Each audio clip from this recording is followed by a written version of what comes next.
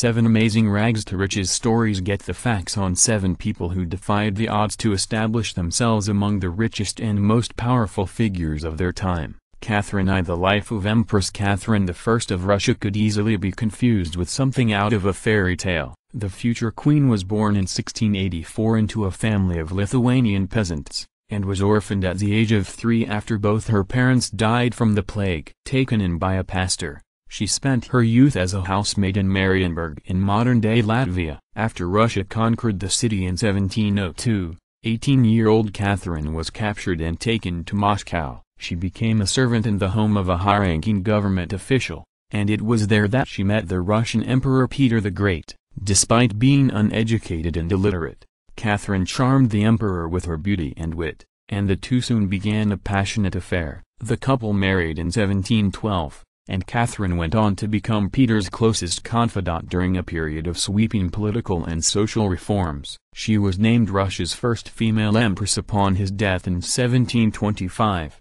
cementing her astonishing rise from orphan peasant to monarch. Catherine died after only 16 months on the throne but during her short reign she consolidated her power and reduced the size of the empire's bloated military. Not forgetting her own humble origins, she also won the love of the people by dispensing generous gifts to the poor. Andrew Carnegie often described as the quintessential low rags to riches tale. The story of steel magnate Andrew Carnegie's rise begins in 1835 in a small one-room home in Dunfermline, Scotland. Born into a family of destitute laborers, Carnegie received little schooling before his family emigrated to America in 1848. Arriving in Pennsylvania, the 13-year-old soon got a job in a textile mill, where he earned only $1.20 per week. Carnegie went on to labor as a messenger boy and factory worker before eventually winning a job as a secretary and telegraph operator at the Pennsylvania Railroad. By 1859,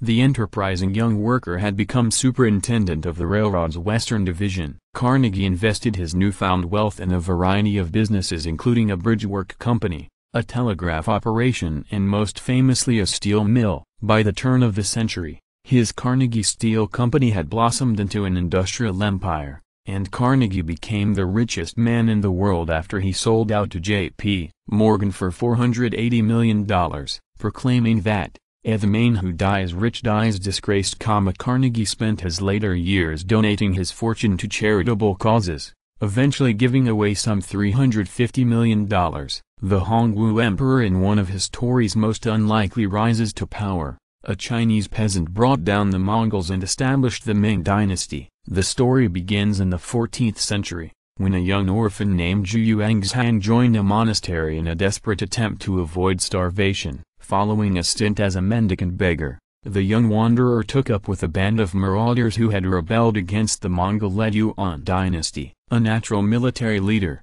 Zhu Yuanzhang quickly rose through the ranks of the bandits, and by 1355 he had taken the reins of the whole rebel army. Ruthless and determined, the orphan general went on to wage a bloody war against both the Mongols and his Chinese rivals for power. In 1368 the same year his forces drove the Mongols out of China Zhu declared himself emperor of the Ming dynasty and took the name Hongwu. While he famously returned China to native rule, the Hongwu emperor's 30-year reign was also marked by paranoia and extreme violence. In 1380, for example, he ordered the execution of 30,000 people after learning of a potential conspiracy to overthrow his government. Justin I Getty Images Most Byzantine emperors gained power through a strict line of succession, but Justin I managed to take the throne by sheer force of will, a peasant by birth. This self-made royal spent his youth as a sheepherder in the Balkans, hoping to find fortune and adventure.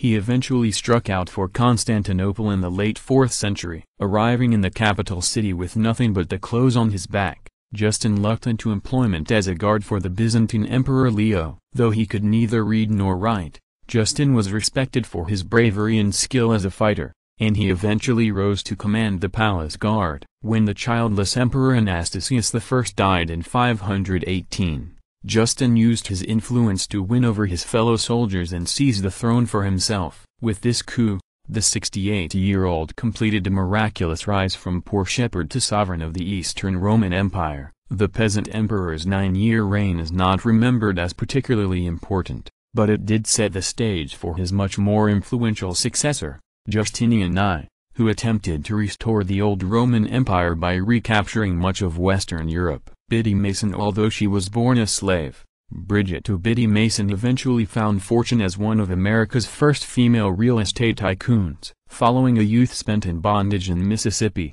Mason traveled to Utah in 1847 after her owner converted to Mormonism. The family later moved to California, where Mason petitioned for and won her freedom in 1856. Mason spent the next decade in Los Angeles working as a midwife, and became one of the city's first black landowners after she bought a small piece of property for $250. An astute businesswoman, Mason later sold some of the land for a profit, and went on to build commercial properties in some of LA's fastest-growing business districts. In time, her shrewd land deals saw her amass a fortune of some $300,000. Along the way, the woman known as O Grandma Mason also gave generously to charity and disaster relief, helped feed the poor and financed the founding of the city's first black church. Henry Miller Though he came to America as a penniless immigrant, Henry Miller became one of the nation's biggest landowners and helped shape the history of the western frontier. Born Heinrich Alfred Kreiser,